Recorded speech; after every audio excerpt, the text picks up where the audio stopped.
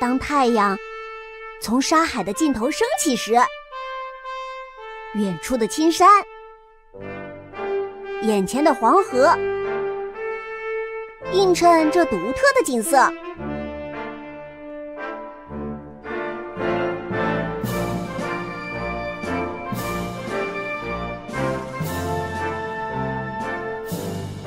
不仅山水之间有着悦耳的天籁之音，沙漠中也隐藏着与众不同的旋律。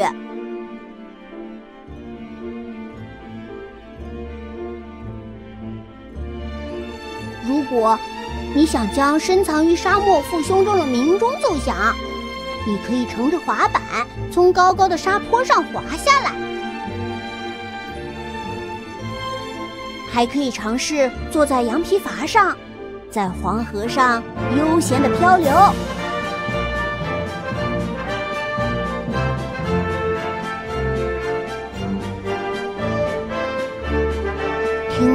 声声，望黄沙漫漫。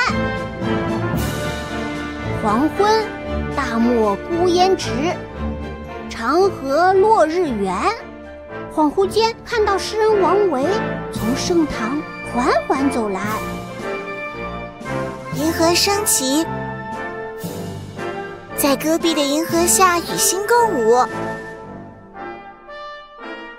如果小王子和玫瑰花的故事有场景，我觉得那一定是这里。沙坡头是比邻黄河、以连绵的沙丘为主的沙漠景观。沙坡头的麦草方格更是人类治沙史上的中国奇迹哦。接下来我们出发沙湖，一个拥有广阔湖泊的内陆沙漠景点。一汪碧水从天降，瀚海沙漠几平湖，一半是黄沙苍凉浩瀚，一半是湖水烟波隐渺。一望无际的苇丛，观百鸟翔集。沙湖是鸟的天堂。是国内最具特色的观鸟圣地之一。走进大漠深处，伴着驼铃声声，于光影流转间，一梦千年。盛唐华灯初上，沙湖不夜城正式开街。伴着霓裳羽曲，一百个文案都不及亲眼所见。秀美细腻与沉浸式夜市。构成了沙湖的魅力。下一站，我们将要去一条从宁夏腰部穿过的玉带，它就是黄沙古渡。黄沙漠漠浩无垠，五度年来客问津。清康熙微服私访及清真噶尔丹，皆由此渡河。古老的土地。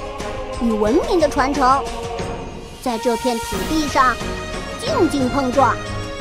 大漠驿站流露着一种沉淀千年的忧伤和孤寂。月牙湖泊的凄凉壮美，仿佛在诉说昭君出塞和亲的思乡传说。这里黄沙与绿野交相辉映。烽火台与古长城驻足相望，黄河与渡船相伴千年，滩竹与芳草相得益彰，交织出一幅塞上风光的五彩画卷。领略沙湖的碧波、沙坡头的壮丽和黄沙古都的独特，来宁夏聆听沙水之歌，感受。塞上江南的独特魅力。